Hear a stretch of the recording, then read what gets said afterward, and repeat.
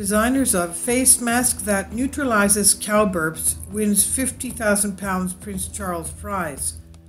And you can see what it looks like.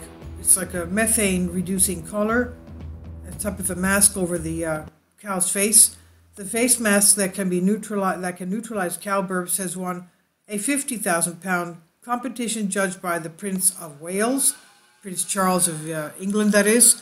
Students from the Royal College of Art, RCA, were given the task of designing projects that would help reverse the damage humans are doing to the climate. So now their methane catching devices could end up being fitted to poor cows to reduce the carbon footprint of British beef. Sky News reports out of 125 submissions, four teams of RCA students and alumni have been chosen as the winners of the inaugural Terra Carta Design Lab competition, receiving £50,000 in funding to help further develop their ideas. Among the four winning designs was a harness for cattle to convert their methane emissions into CO2 and water vapor in real time, created by design group ZELP. Methane has more than 80 times the warmer power, warming power of carbon dioxide during its first 20 years in the atmosphere, so cutting it down is a powerful way to slow warming in the short term.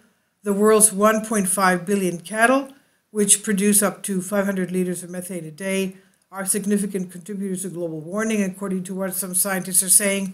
The majority is emitted through their belching, but some also comes from their flatulence. We can all have good ideas, said Sir Jony Ive, uh, award judge and counselor, chancellor of the Royal College of Art.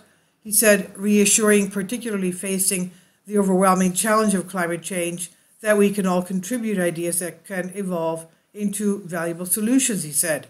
This is by Neam Harris on News Punch. Please leave your comments. Thank you for your support. Kindly support my Patreon account. The daily posts are five videos daily, and they are totally different from what I have on my YouTube channel. Thank you so much for your support and that you find all my content so interesting. You'll find the Patreon account details in the description box below.